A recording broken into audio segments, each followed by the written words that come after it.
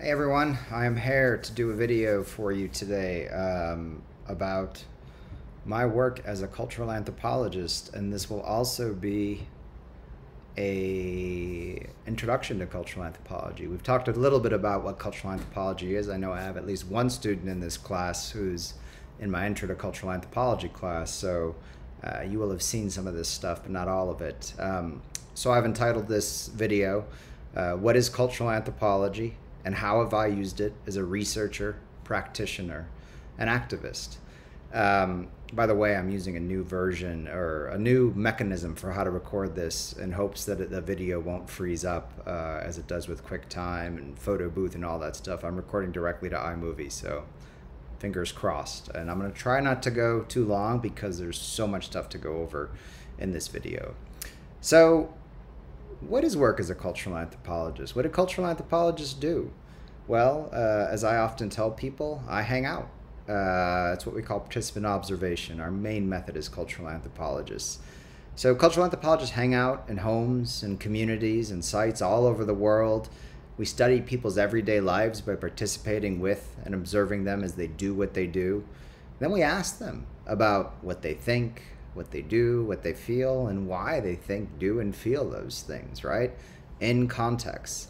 By doing this, we can bridge divides between different kinds of people belonging to different communities, cultures, countries. That's their job. We're cultural translators, basically. So, in short, we explore, explain, and communicate social and cultural diversity for both academic and applied projects and reasons. And obviously, in this course, we want to give you a sense of all you can do with an anthropology degree, including anth- cultural anthropology, outside of just being a researcher or a professor. Of course, there are all sorts of people who do research uh, that are not professors. So, cultural anthropology, uh, obviously, the key term in there, aside from anthropology, is culture. This is my definition of culture um, group relative ways of thinking, perceiving, acting, and feeling.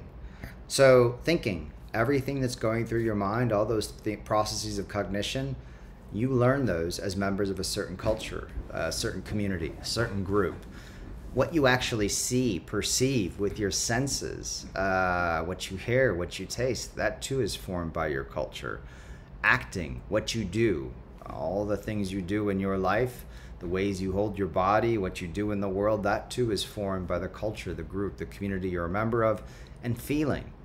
Emotion too is culturally formed, culturally mediated by the kind of community uh, you are born into, your primary culture, or all those subcultures, those secondary cultures that you become part of later in life. So, culture, all those groups have ways of thinking, perceiving, acting, and feeling, and you are socialized or enculturated into them as members of those communities. So, this is what we study as cultural anthropologists.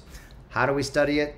Through participant observation fieldwork, through interviewing, and some other techniques that I'll talk about briefly. So, the point of this presentation is to tell you what we do, tell you how we do it, and then to tell you what I do, not academically so much. Um, that's all my other classes. I'm going to tell you about what I do that's not really academic in terms of cultural anthropology. We talk about that applied, uh, practical uh, anthropology or activist anthropology. An important term and concept for cultural anthropology is cultural relativism. When people take my intro to cultural anthropology class, this is one of those big concepts I want to stick with them well after they get out of the uh, class at the end of the semester.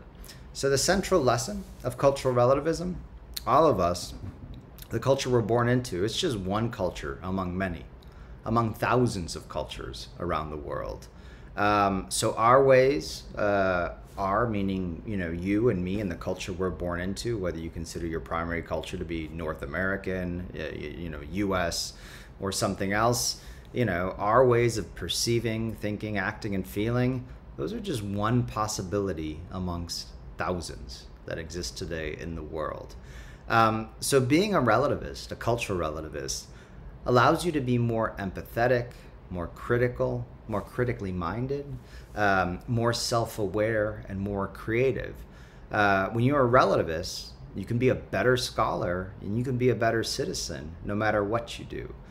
So, being a cultural relativist, being aware of all those different ways to be a human being out there, all the different ways in which we're enculturated or socialized, does not mean that you know you think anything goes in the world, right? There's no useful sense of good and bad, or there's no absolute uh, truth and falsity, or uh, you know. Um, uh, yeah, good and evil in the world uh, that can be applied across cultures. You know, we're not that kind of just all up in the air because you know, if you're born into one culture, there's your true and false, there's your good and evil. Members of another culture, uh, they have their own sense of true and false and good and evil. We're typically not like that. It's hard to live like that as a human being, to be an absolute relativist. But if you're a cultural anthropologist, what we ask you to be is what I call a methodological relativist. So before you think you can understand, or let alone judge, the actions of members of a different culture, you've got to do all you can humanly possible to understand what those actions mean to members of that culture itself from their perspective in their terms not what those actions mean in terms of your own culture right? Uh, people do you know i teach a book about cannibalism in my introduction uh, to cultural anthropology class. As a, somebody who grew up in the united states as a euro american i have my own sense of what cannibalism is. I shouldn't apply that to members of that culture. I want to understand what it means to them and uh, how it makes sense to them uh, before you can even say whether it's morally or ethically good or bad, right? So your point is to try as hard as you can to see things from the cultural perspectives of members of different uh, of a different culture. That's the point of the game. Um, and you go into this assumption as a cultural anthropologist that pretty much everybody in the world, no matter how different they are from you, probably thinks they're living a pretty good, decent, moral life. Uh, they may fail in terms of the standards of their own culture to live a moral life, but they have their sense. They go to bed at night thinking, yeah, my way of doing things is a pretty good way of things. So, the important point of being a cultural anthropologist is to understand what makes them feel that way. What are the meanings or logics that allow them to think that their way of doing things is a good, natural way of doing things, right? How do they view their culture, right? Their ways of speaking, thinking, acting, and feeling, perceiving from their own perspective. So we try to understand people from their own perspective. Our job is to be maximally aware of cultural diversity. Uh, that's what cultural anthropologists are good at to try to be empathetic, see things from the uh, from the inside um, perspectives of members of communities that are not our own. Now, how did we do that? As I said before, um, participant observation research. Uh, people say, Mike, what do you do when you go down to Ecuador? I say, hang out. I do exactly what people do. I sleep in their houses, I eat with them.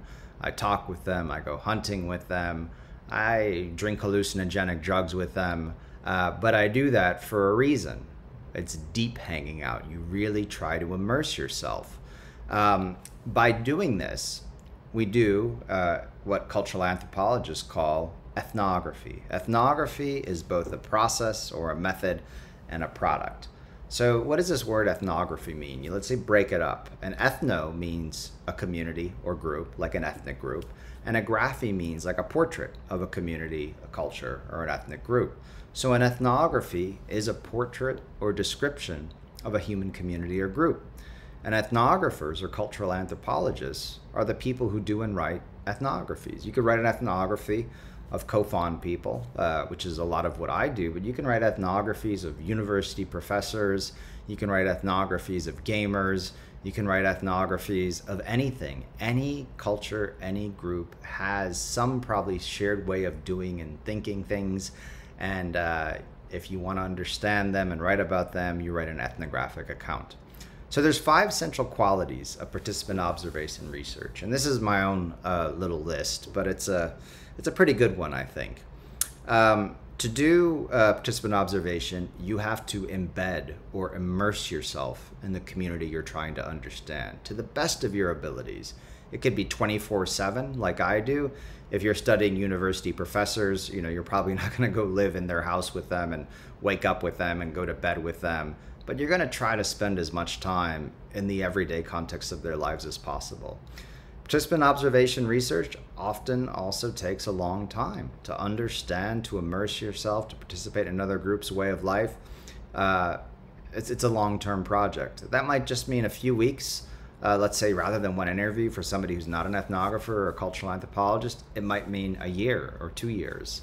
Um, participant observation is holistic. We try to understand everything about that community. We often don't you know, realize how religion is tied to kinship, is tied to economy. So we try to understand everything because if you have a very fixed topic that's often informed by your own culture and not the culture of the people you're trying to study. So pay attention to everything because connections are always there and you're not going to be aware of them until you've done your research. That's tied into a fourth quality of participant observation research, which is that it's open ended.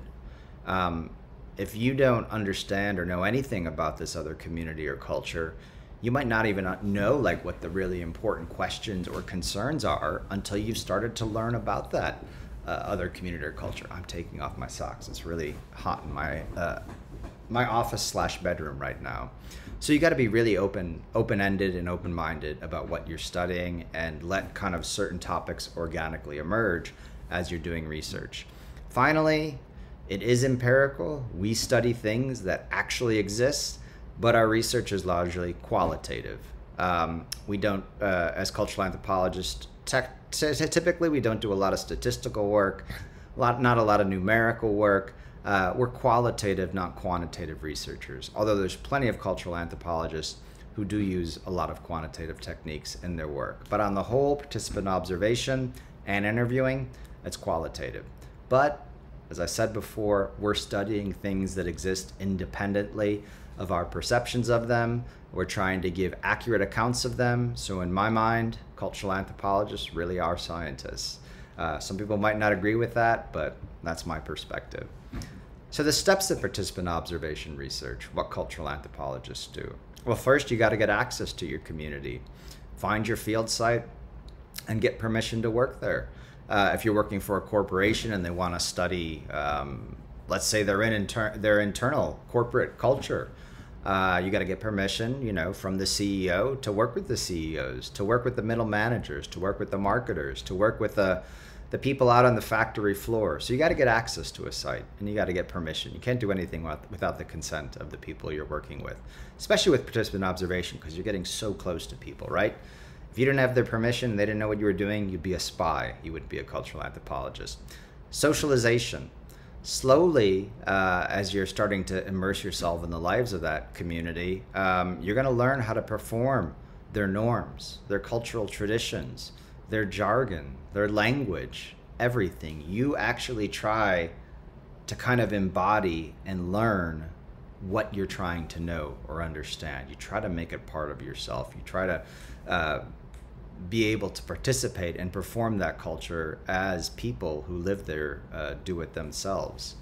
That takes a lot of developing very close relationships. Uh, you get close to people, it can be a very intimate form of research or science. It's one of the reasons why some people say, hey, this is way too close, way too subjective, way too biased, because you're not keeping that scientific distance uh, from your object of study. Um, well, it is true that you get really close, uh, and intimacy is part of it, but that's how we get to understand people really, really well. You need to develop those relationships.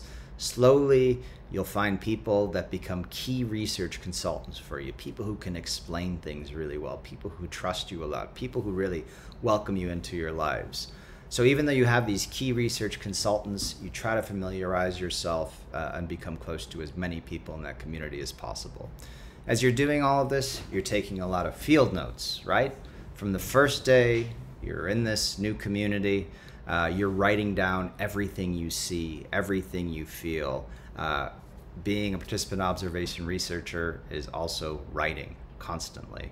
I've got a new article coming out in a book just it's called like Naked Field Notes or something. And it's just about giving like a really uh, iconic field note from your current project and then writing an essay about what that field note contains, what it doesn't contain, how you produced it, all of this stuff.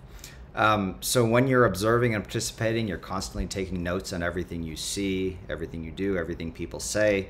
Um, and gradually you'll start to do interviews as well. You'll figure out what's important, what the focus of your study is, and you don't just want to participate.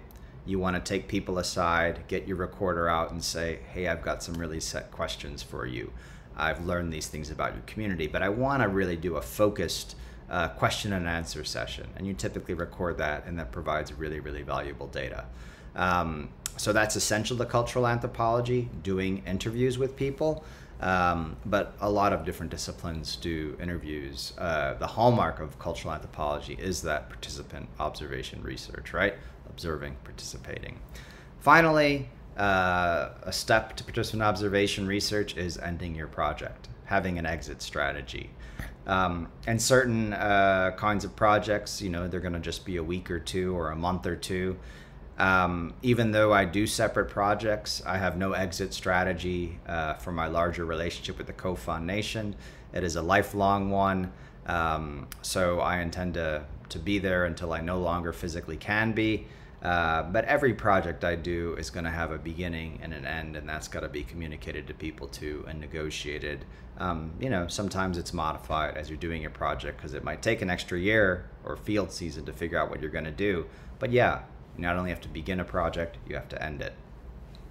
Observing and participating, just to go over this a little bit more, as I said a second ago, you watch everything.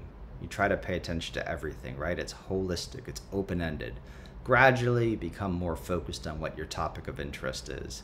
Participate in as many activities as possible. When I went in and started doing research with Cofán people, I didn't drink alcohol, certainly didn't take hallucinogenic drugs, was a hardcore vegetarian, but I needed to hunt. I needed to eat meat if I wanted to learn uh, how Cofán people live and uh, let them know that I respect and, and, and approve, quote unquote, of their culture, but try to figure out what it is, you got to really jump in. Uh, you try to go to the same spaces at different times because different things are going to be happening there, right?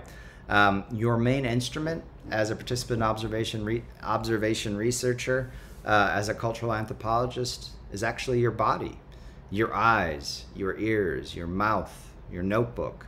Um, you are using all of your sensory capacities to learn about this other community uh, in the most, as I said, encompassing, comprehensive, holistic way possible. So your body and your senses are extremely important to you as a cultural anthropologist. Field notes, no matter whether you want to or not, you got to take them because you think you might not forget you might uh, uh, might not forget something you're going to remember everything that's definitely not the case uh, write down everything in as much detail as you can everything you see everything that seems significant that somebody says so write it as often as you can as soon as you can uh, as many times as you can. In the beginning, when you don't know anything about this community, everything is going to seem new. It's going to seem relevant and rich. Pretty soon, you're going to start to get used to th- things. They're going to become habitual for you, and you're not even going to think about them anymore. That's why it's important to write as soon as you start doing research when everything is brand new, right? Because you're paying attention to everything. Toward the end, those notes will become more focused on the topic of your study. Don't be worried about making your field notes uh, seem too orderly. They can be chaotic, they can be subjective, they can be contradictory. You just want to be as descriptive as possible as you're doing your research. You want to try to write down all of your experiences. Some of you might be more visual. Your field notes can contain drawings, images, charts, diagrams. You just want to record your experience uh, to the greatest degree possible. Um, those field notes are going to provide much of the data over the course of your project or even over your career. Things, field notes that I took uh, when I was doing my dissertation in January of 2001, 21 years ago, I still go back to them now. Um, so, yes, you will go back to your field notes over the course of a, a project or a career. Those notes should also contain emotional or psychological information about you and your own experiences because participant observation, as I said, it's so involved, so invested that your own frame of mind, how you're feeling, can really affect what you're witnessing, what you're observing, right? So when I was doing my dissertation research in this tiny little Cofán community, I had no control over what I ate, when I ate. I was super hungry. I was craving like the foods I was used to all the time. So then when I look at my field notes, thankfully, I kept like a separate journal with my notes on how I was feeling, and I used that to like make you know to kind of um, what's the word calibrate what were in my technical field notes. I knew I was obsessing over food, so I was paying all this attention to like how much people ate, the order in which people ate, what kind of portion sizes they got. Um, but maybe I was uh, paying attention to that so much, not because it was so important to people, but because it was so important to me because I was in this certain psychological, emotional, and bodily condition. So always try to reflect on yourself as you're reflecting on uh, the community you're trying to understand because you're going to need both of those kinds of information to kind of judge and check your data. So here's just a picture of uh, basic field notes for me. I have the worst handwriting in the world. Um, I just pulled these out of my cabinet right back there, probably from a project I did maybe 2012, and I can't even read some of these things. They're almost like mnemonics. Who's TS? Who's DC? Who's D? Uh, AC Alejandro Criollo, uh, October second. What was I? What was I writing down that he was saying? Like I said, my handwriting is impossible, and I'm going to say something about that in a second, which is also very important. Alejandro says that a dog uses its tail as a blowgun or as if it were a blowgun. That's why people cut off part of the tails of dogs to make them straight because a good bl- good blowgun should be straight. I didn't go out that day thinking I'm going to ask Alejandro about uh, people's dogs and why people chop parts of the dog's tails off, but my God, he said it, sounded relevant, so I'm going to write it down. But if I just went a year later trying to make sense of this, it wouldn't be enough information. So every day when you take field notes, I would have my laptop computer with me, whether I had power or not. I'd have a solar power, a solar panel, so I could have power where there's no electricity in the middle of the Amazon. And I had this FileMaker Pro database, a database program. And on this one from my current project, you can see this is a very recent field record, not a field note per se, July 6, 2022, in my current project on shamanism. I've got 99 topics. So there's a record number, there's a date, there's a whole set of topics, this incident. Um, this is actually an incident in which I was being cured uh, by somebody because I'd had a flare up of COVID like symptoms. So I, all of the topics that seemed to pertain to this one incident I took field notes on. Who was participating? These three people, as well as me. Where was it happening? The location, and then some notes on this incident. So I would just in my little notebook, handwritten, have a few things written down. Before I could forget, I go back to the computer, hopefully that night, if not that night, the next day, and I flesh it all out in beautiful typing so that I can read it 20 years later and make sense of it. And that's really where this data from participant observation lies in these field records, in this database program. Learning how to use database programs and set them up is itself a super important skill. And this is the kind of material. This this is just a tiny part of a field note that was probably 10 pages long or something like this, a field record. I go back to this well after the fact, and I have thousands and thousands of these things at this point in time. Um, and there's an incident. Uh, I don't think I had a picture itself of that observation in that field record, but this is the guy, Jose Keita, who was curing me. And this actually is a still from video. Video is very important to my current project because much of it occurs at night in total darkness. So I have night vision on this video, set it up on a tripod, let it run, and then I can really see what's happening in real time and go back to these videos after the fact. Um, and in this video, you can see Jose, he's curing me. I'm sitting down there. Um, and that itself is what was happening in either that note I just showed you or other notes that I took after the fact. And in my current project, video recordings are super important, not only because it's dark and I get tired and these shamanic curing sessions last all night, but because I too am drinking hallucinogenic drugs, and you're not doing a good job observing things when you're taking hallucinogenic drugs, ayahuasca or yahe for the Cofán. So you need to make recordings. So making recordings is also extremely important. Not just participant observation, not just field notes, not just field records, but using audio, video, and visual recordings uh, uh, to get data. So those interviews that I already talked about, those are extremely important research techniques and research data and material that you're going to use in any project or study that you do. Um, but then recordings of other kinds are also important for other reasons. You know, when you have so many photographs, you're going to take a lot of pictures in the field, right? Maybe video as well. It's going to provide raw, detailed, evocative data that you can use when your field work is done. And let's say I'm trying to write a great description of this individual. Well, there might be stuff in the field notes, but when I look at a picture of that person, how they look, what their house looks like, it's going to allow me to produce a very, very rich description. And if I have video, even more so. So video recordings allow you to observe activities after you participate them, to study them in more detail. Uh, in my shamanism project, I want to know I mean, aside from the fact that I'm myself tired or hallucinating or being cured and have my eyes closed, I want to know every little word that shaman chants, every little movement of the hands. Um, and that's something that you can only get when you have something recorded uh, video um, after the fact that you can go back to.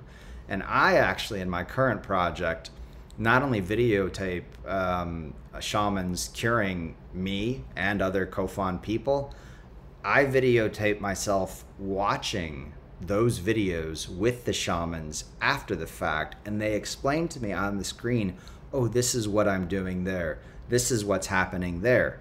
And in that recording of myself watching a recording of another person who's in the recording, you get such rich data because they only think to explain things when they see themselves doing it. And I only think to ask certain questions when I am watching a recording with somebody else. So I have just as much video of me watching and talking about videos as I do of those videos themselves. And um, I think I might show you a little bit of the commentary uh, here that is being done in 2021 with Cesario Lucitante, the main shaman I'm working with right now. And we're talking about him chanting, and explaining to me how he's chanting, what's happening in this, uh, what he's seeing. You'll see him make all these gestures and everything, pointing out the window, uh, talking about, you know, we're in the national capital because of COVID. Um, and he's saying, you know, these spirits, it's like they're up on the hill over there, and the houses kind of look like that on that hill in the city, right? But they're different. They're all made of glass. It's beautiful. It's reflective. It's shining. It's not kind of dirty like it is over there. All of that visual information is so important. Um, so, yeah, watch that for a second.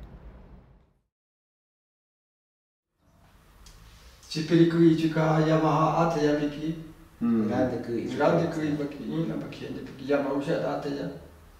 Tsama ke tisui tiki tsama atesa, o fuerza A en vez de fuerza que kitakashi en vez Z choma, pañamba, zeki, ashen, ken zetai.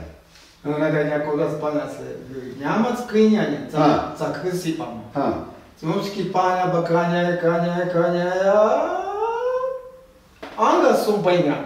Hmm. Քեփուկա մանդ է իջուքյական ծամա քեհուբա կսի ճուտուտու բաճրական բա կակուի գծը ճունած անգացում է ծայեց ապայ нас կնյաց ծայետ եց ապայ ինգիա իրադեց կանե հոմած սեված այինա ճմնդատ կիատիկ ծահանդե եց ծամայամա պսետա նյամ մենգս մենգս այց կանս ծայեց ծետ յուքի ծամապույի ատեսիչո והאף שמה סתויתי, או קנינגתי סתויה.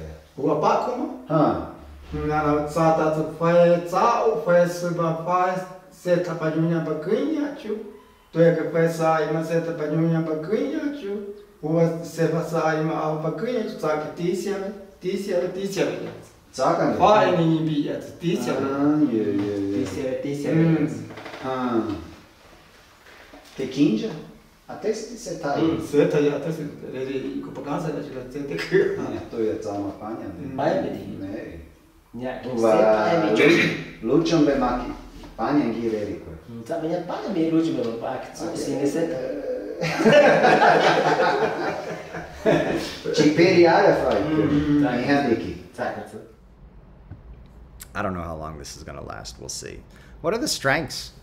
of cultural anthropological research, which is basically based on participant observation as its most important method. This is extremely rich data that's being produced. You are up close, you're personal, you're witnessing events as they occur, uh, you're watching life as it's actually lived, your data is extremely, extremely detailed. Uh, you have validity in this data, in this research. You're watching these events as they occur in situ, which means in sight, in their natural context. You're not doing a survey, you're not just doing an interview after the fact. You're watching things happen as they happen in the context in which they normally happen. To me, that's the best means of accessing and depicting human life, right? You want to be there watching, participating, seeing people do things as they're doing them uh, in the in the normal context of their everyday life, right? Uh, that is that is how you get the best data about people. There are certain limitations. You got to get close. You may be biased. You can't stand back. You can't rest. But it's extremely rich data. What does that data allow, allow you to do? Uh, to understand things through interpretation. So because the observer is also a participant, they engage in that local behavior. They're really equipped to develop close, personal, intimate, complex relationships with the people they're working with so they can understand them really well, right? You get to know these people and the level of rapport or mutual understanding you can have uh, is not made possible by any other kind of scientific discipline in my mind, right? So if you have these great trusting relationships, um, you can understand things that other people cannot. Finally, another strength of participant observation research, cultural anthropology, it's cheap. Colleagues like uh, Dr. Hard, it's very easy for them to write million dollar grants with all these crazy amounts of equipment and teams. When I go into to do a project that might take a year, I need very little to do it. I need my notepads, my pen, my computer, a camera, maybe a video recorder. That doesn't take much money at all in the grand scheme of science. It'll take a lot of time. It'll take a lot of involvement. It'll take a, specific, a special kind of person who's able to do it, but it is very cheap uh, in the grand scheme of science to do this kind of research. So I had you read an article um, for this week about the kinds of skills and abilities that you get through cultural anthropology, and I actually wanted to read some of these because they're really important. Um, number one, social agility. Uh, in an unfamiliar social or career related setting, you learn to size up quickly the rules of the game. Therefore, you can become accepted more quickly than you could without this anthropological skill. You're trained to be open, to enter new spaces, and to learn the rules of the game and throw yourself into them. That's what it means to be social agile. That's a good skill you have as a cultural anthropologist. What else do you learn? Powers of observation. You must often learn about a culture from within it, so you learn how to interview and observe as a participant. Very useful skill for all sorts of jobs. Planning is an important part of being a cultural anthropologist. You learn how to find patterns in the behavior of a cultural group. This awareness of patterns allows you to generalize about the behavior of the people in the group and to predict what they might do in a given situation such that you can plan for that situation. When I've done practical applied work, working for the Field Museum of Natural History, doing conservation work, I could say, we need to do, y'all want to do something. I know exactly how to plan out the context and what people are going to be comfortable with in that context because I've seen these kinds of patterns happen before. More skills and ability from cultural anthropology. Social sensitivity. This is obvious, right? While other people's ways of doing things may be different from your own, you learn the importance of events and conditions that have contributed to this difference. You also recognize that other cultures view your own ways as strange, right? Cultural relativism. You learn the value of behaving toward others with appropriate preparation, care, and understanding. So important, right? Once you learn that other people are different, they have diverse ways of doing things, those ways are totally valid, uh, logical to members, you're going to be really sensitive uh, to negotiating diverse spaces, including diverse workspaces. Number five, accurate interpretation of behavior, what I just talked about a second ago. You become familiar with the range of behavior in different cultures. You learn how to look at cultural causes of behavior before assigning causes yourself. Interpret what people are doing according to their own frames of meaning or reference, not throw your own onto them. Six, predilection to challenging conclusions. You're good at challenging conclusions if you're a cultural anthropologist. You learn that analyses of human behavior are open to challenge. You learn how to use new knowledge to test past conclusions, right? You're so aware of difference and diversity and being open minded that you are really good at not just accepting the way things are done in one community, but saying, there's a million different ways to do this, or at least three different ways. Or I've got a new idea. I'm critically conscious of the situation because of my training as a cultural anthropologist.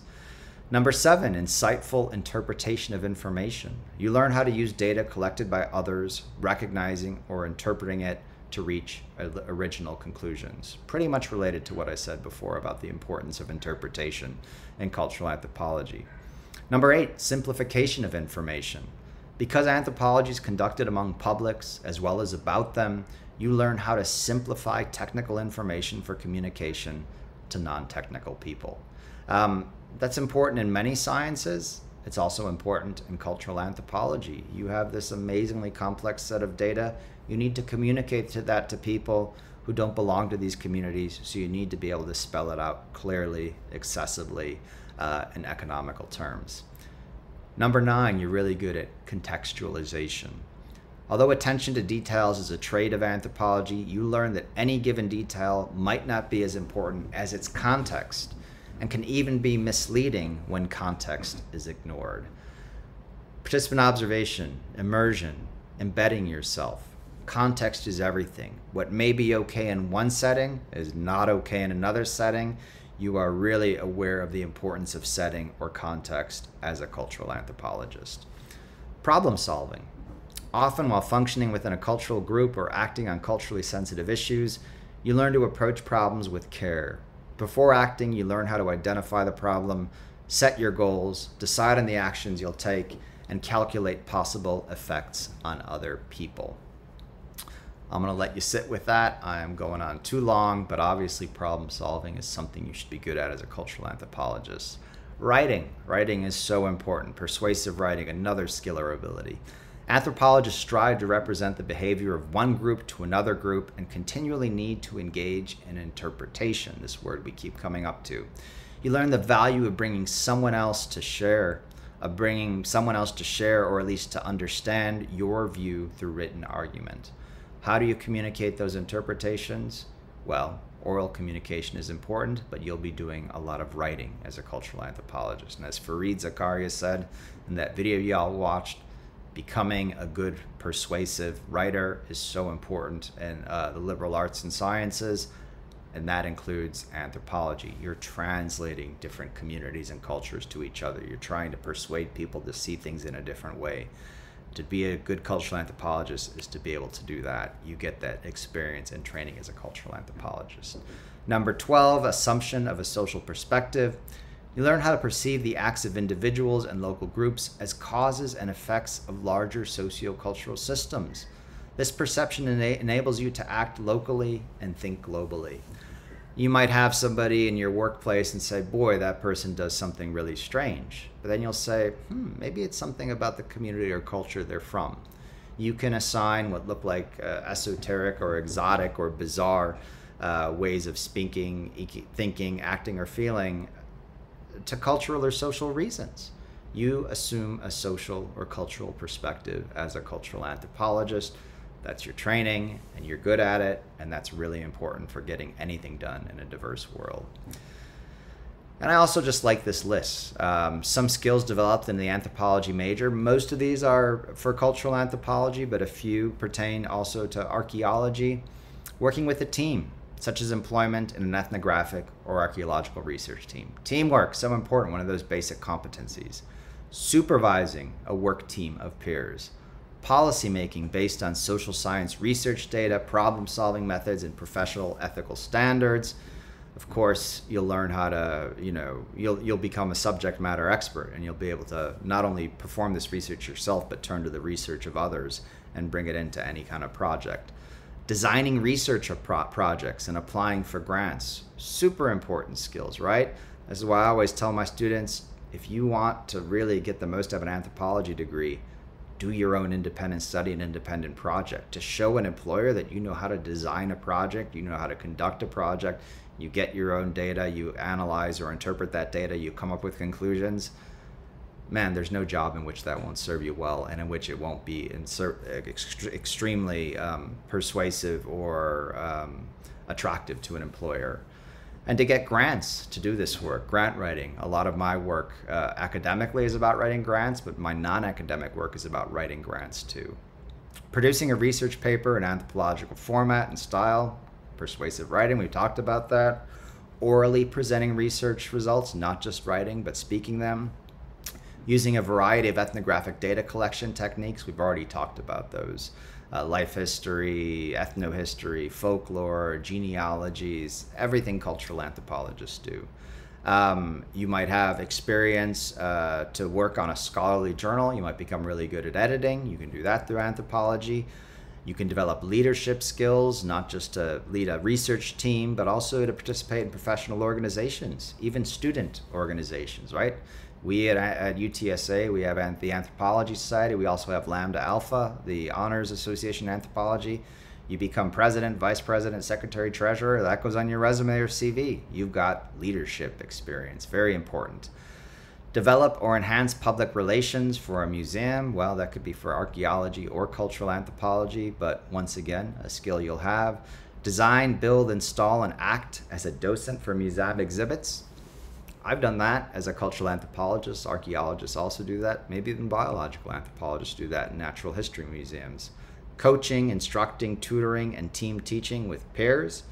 Very general skills, but skills that come along with an anthropology major. Studying a second language. This is a big one. You don't have to go work in Ecuador or the Amazon to do cultural anthropology. You can do it anywhere. But often, people interested in cultural anthropology are interested in diversity and difference, which does mean oftentimes going to another country, learning another language, like Spanish for me first, and then Cofán. But you could be going anywhere and doing that. Speaking more than one language, being bilingual, trilingual, so important in today's world. Demonstrating sensitivity and perceptiveness toward another culture, so important um, inclusion, diversity, equity, these increasingly important terms in our world, in all sorts of jobs. Once again, uh, a, a, key research or a key competency, as we've heard about, cultural anthropology is really good at developing that. So, my academic work, I just want to see how long I've already been talking here, probably for a very long time. Uh, 40 minutes. Well, we'll see what happens here. Maybe I'll cut a lot of this out. Um, well, I work with Cofán people. I've been doing it for about 30 years. I do it every year if I can. I've lived in Cofán communities for more than five years at this point in time. Uh, academically, I've talked about that in my first little video. I've written three books. I've got two edited volumes coming out. I've got 15 peer reviewed articles more underway, and I've got a lot of grants under my belt. Uh, I just have a little blurb here about what my research on the Cofán focuses with focuses on environmental issues, political issues, religious issues like shamanism. But I've also done a lot of work not for academic audiences. I call this popular work. I've contributed to four different documentary films. Um, I've uh, written an article and a photo essay for a popular magazine, Pacific Standard, not not for academics. Um, I've done lots of interviews about my work uh, and provided expertise for other magazines, for newspapers, the Washington Post I was in, even for NPR, National Public Radio, because of my work as a cultural anthropologist. Um, I'm often consulted as an expert for writers doing popular books about anthropological topics. They may involve Cofán people or territory. They may involve things that I know a lot about, like the oil industry or Amazonia or indigenous politics but I do a lot of that consulting work, usually for free. Sometimes I get paid to do it. So, my applied work, I've split it down into five separate areas here. Um, this is stuff that doesn't involve writing academic papers or writing academic grants or teaching. Uh, it's stuff that I do outside of that. And it all depends on my cultural anthropological skills. Um, and I split these into five main kind of non-academic applied kinds of work that I do, work that I could do for a living perhaps. I often I've been offered jobs to do this stuff, but I decided to become a professor instead. First thing, I do so much of my activist work as the president of the Cofán Survival Fund, a nonprofit organization based in the States. I actually did used to get paid and work for the Field Museum of Natural History. Um, it's now the wing that that does conservation work there is called the Keller Science Action Center. It used to be called the Division for Environment, Culture, and Conservation. They offered me a job when I finished my PhD, but I decided to go academically instead. But now one of my students is doing the work that I probably would have been done doing there for full time. Um, I also write expert reports for various reasons and causes. I do amicus briefs for court cases and I also do a lot of just random, contingent, personal support work for people that really depends upon my anthropological skills. So the Cofán Survival Fund, I have a whole, what I call a deck. Um, and I don't think I'm, I, I was ready to show it to you all in this, but I don't think I will, about all the projects that this nonprofit that I lead does in environmental conservation, in education, primary and secondary for Cofán people medical projects, land rights projects. We're doing a project now um, helping uh, to coordinate a project uh, uh, for with Cofán women's organizations um, to develop uh, menstrual pads um, that are going to be really useful, economical, reusable for these women working with some allies in the States. All these different kinds of humanitarian and environmental projects that I do for the Cofán Survival Fund there are so many practical skills and activities involved in this work of mine. Um, writing grants. Uh, we just got a $25,000 grant to to get some Cofán people working as park guards uh, to kick out some gold miners of an area. Got to learn how to ask for money. Development work. Once again, if you're if you do if you're good at grant writing and getting donations, you're gonna have a lot of career opportunities open to you. Um, I let people know what we're doing. So I uh, compose and distribute newsletters, hopefully monthly. Often it goes longer than a month, but I'm good at that kind of written communication. Creating web content. We have a website. Got to maintain it. Got to put it up there. Uh, social media, another means of letting people know what we're up to through Facebook and through Instagram. This is an important professional skill for so many people leading and managing different kinds of teams. Well, I'm the president of the Cofán Survival Fund, but the president of the board of directors. So I'm the leader of that team, you know, eight or nine different people who all have different ideas about what should we, we should be doing as a nonprofit and what we shouldn't be doing. By the way, the Cofán Survival Fund, one of our main jobs is to advise and raise funds for the Fundación Sobrevivencia Cofán, the Cofán Survival Foundation, which is our Ecuadorian Cofán directed counterpart. They're the ones who are really doing so much of the work. We're providing them advice, insight, and most importantly, funding. Um, but sometimes we get really involved in those projects and the different little projects we work on, like this one I told you about, working with women on uh, menstrual pads. Um, I, as president, and one of our other board members are setting up workshops, doing logistics, helping these people with all of our background knowledge of, of Cofán culture, how to do this, how to set it up, how to make it make sense. So you're leading these kinds of project teams too. Courting donors. Development work is not just about writing grants, but being nice to people with resources, uh, being compelling to them, using your oral uh, communication skills and your uh, writing emails in a persuasive way to say, hey, you want to help out? I was really happy last year. I did, wasn't even really trying, but I got a hundred thousand dollar grant for our work. Uh, so happy about that. Organizing trips and events, like I said, workshops, all sorts of things you got to put together doing nonprofit work. Um, all of that depends on cultural anthropological skills too. Database management. Well, I maintain a database of field notes, but I also maintain, or at least work on and negotiate a database called Bloomerang. That's a database of our donors um, and how we communicate with them, how much they've given, what their level of activity with us is. You know, database management important for so many jobs. All of those things involve cultural and linguistic translation because we are an organization that represents or supports or advocates for a group of people whose language, whose way of life is not understood by others I've got to present all of that to people who are different, who can provide the resources, the connections, the networks, the political aid uh, to help those people out.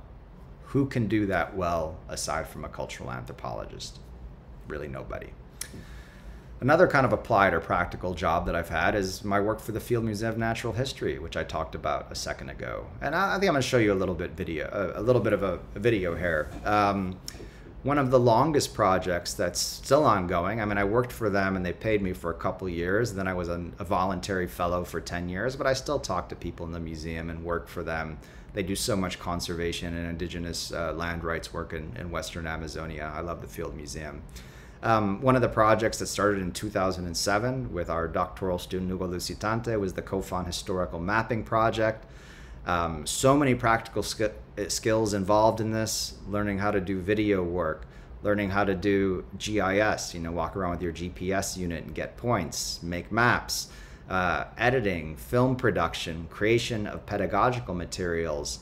Uh, the whole point of this project is to map out Cofán historical and cultural claims uh, to northeastern Ecuador. So I'm going to show you this little five minute video and it'll be funny.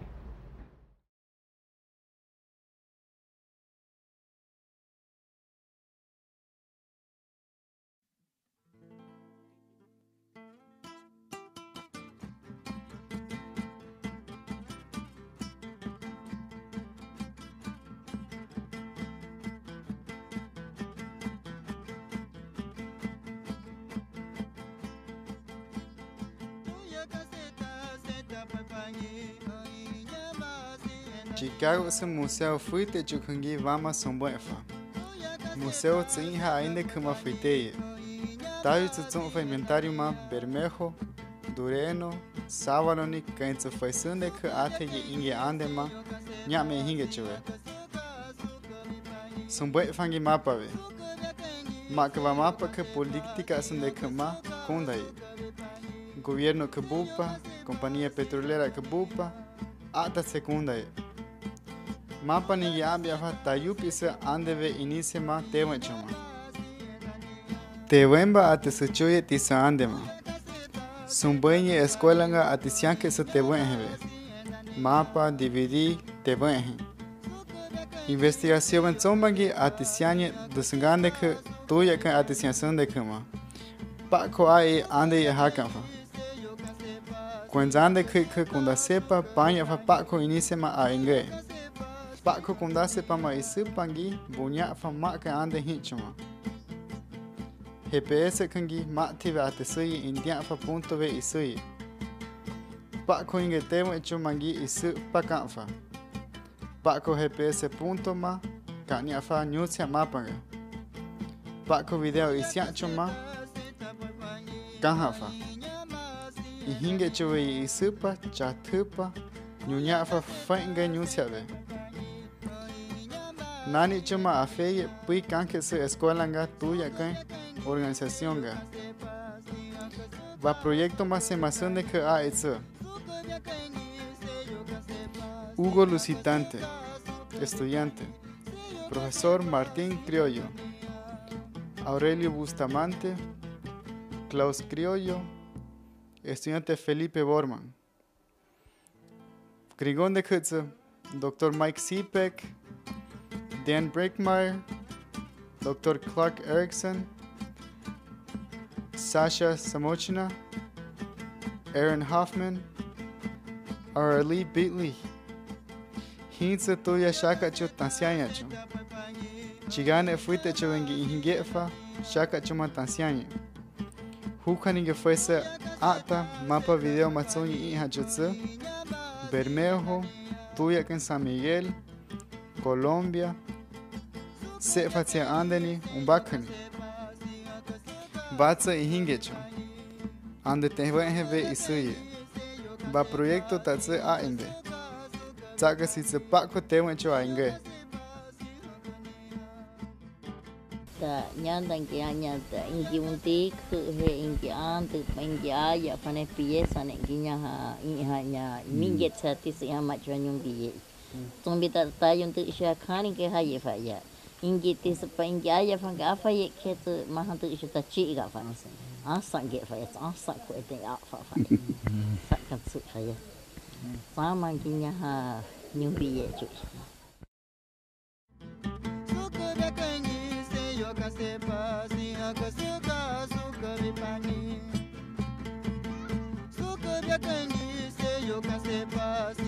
se pa si All right, so that was the Cofán Historical Mapping Project.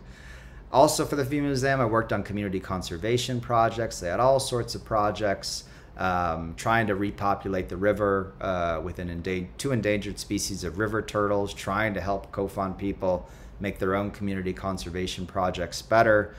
Field Museum team would come, ecologists, zoologists, ornithologists, entomologists. These people are amazing scientists. Do they know anything about Cofán people or culture? Maybe if they spent time with them, but I, as an anthropologist, would often be translating linguistically from the Cofán language to English or Spanish and back and forth, but also culturally. Why to do things one way rather than another way? I can plan because I know those patterns of a different community and say, hey, this probably isn't going to work, but if you do it this way, it might work. Um, also, for uh, the Field Museum on those community conservation projects, we created a whole set of booklets, uh, training and documentation materials to show to the outside world this is what Cofán people are doing. With these booklets, you can take these conservation projects, other communities can do them, can learn from them. So uh, there's visual materials there, there's written materials there, really important work. Oral communication and presentation skills at non governmental and governmental meetings. Oof, those are so important. Public persuasive speaking. Uh, producing compelling PowerPoints. This one's not too compelling, it's too long. I've been in all sorts of meetings uh, with the Ecuadorian government, uh, with the Nature Conservancy, with big NGOs, trying to talk about why a, a Cofán conservation project or Cofán land rights are important or why they're justified. Speaking to high powered people, you need to be a good public speaker. You need to be able to read the room. You need to know how to set up a presentation to make that possible. Those are all things I did for the Field Museum, not for academic articles, but to get things done in the world. Expert reports and testimony. Uh, serving as a court appointed or court involved expert on complex legal cases involving Cofán people and larger issues facing the residents and landscapes of Amazonia. Wow, that's a mouthful. I just wrote this this morning. This is like, no, no, this afternoon. I've got so much stuff going on right now that I had to put this together quickly. Some examples of expert reports and testimony. Um, I authored a report uh, for a lawsuit. This is not supposed to be super public information, so I won't say who was involved. Uh, but um, someone, a government, was fumigating coca, cocaine crops along the Colombian border, and Cofán people and other indigenous people and their territories were being hurt as a result. The government that was doing this saying, no, um, we're not hurting them because they are, they've already lost their culture, so they don't really depend on the forest anyways. So I got contacted as an expert and say they say give us a report that shows us how Cofán people have not lost their culture and really depend on the forest so that we can persuade an international body that they deserve compensation and this coca fumigation should stop. I did that, some other anthropologists did that, and we won the case. It was great. Uh, I mentioned before, I think in my other lecture, serving as an expert witness for a Cofán couple who wanted to adopt a non Cofán child through the Ecuadorian Ministry of Social Welfare. Went into a court uh, in that Ecuadorian government branch and had to explain to these judges who know nothing about Cofán people, who are probably racist against indigenous Amazonian people, why this non Cofán child should be given to this Cofán couple, even though their culture looks different. They look poor, they look ignorant to these judges why that kid will have a good life if this adoption is approved and the adoption was approved. And you know i'll take a little bit of credit for that. I was very proud of that. Practical skills and in these expert reports expert testimony. Photography was very important in the first one. Uh, technical writing uh, very important in the first one. It had to be accessible to public speaking very important in the second one. Deep knowledge of complex situations important in both teamwork. Uh, that first expert report, like I said, it wasn't just me. There were anthropological experts who work with neighboring peoples. We had to come together and produce this report with shared elements. Amicus briefs. Uh, these are what we call friends of the court briefs, producing legal documents for court cases involving Cofán people and territory. Definitely done one of those. I think I'm working on a second one now. An example authoring a brief, a court brief, that argues that if Cofán territory is ecologically altered or destroyed, Cofán people and culture will suffer. There's a picture of uh, Cofán people from the community of Sinangoe. Uh, the Ecuadorian government decided to carve up their territory and territory around it so that mining companies could mine it. Um, and I was writing a brief for another non governmental uh, organization called Amazon Frontlines, and they said, Mike, you're a Cofán expert. Write this brief that says if this land is destroyed, Cofán culture will be destroyed too. Uh, so I had to take all my knowledge and skills and expertise and experience and put that together into a compelling argument. We won that case. Those mining concessions were canceled. I probably played just a small part in that, but I was happy to be a part of it at all. Finally, personal and contingent support, the kind of applied work I do as a cultural anthropologist that things just happen all the time and I try to help people out. I probably could get employed by some nonprofit or, or a government to be this kind of like cultural attache, attache or something, helping certain groups of people in Ecuador, but this is something I do as a volunteer because I care about people.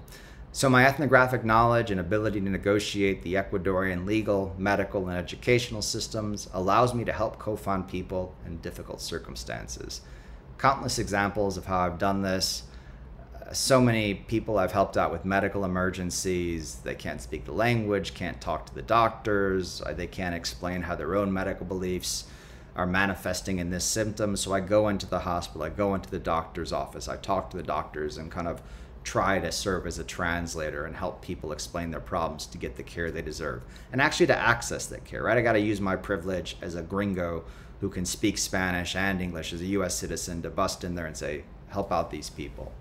Um, help with educational challenges. I've helped so many Cofán students uh, primary school college high school and now at the doctoral level. And a lot of that also depends on you know having a lot of background knowledge in their culture and why it presents certain advantages and disadvantages for succeeding in school.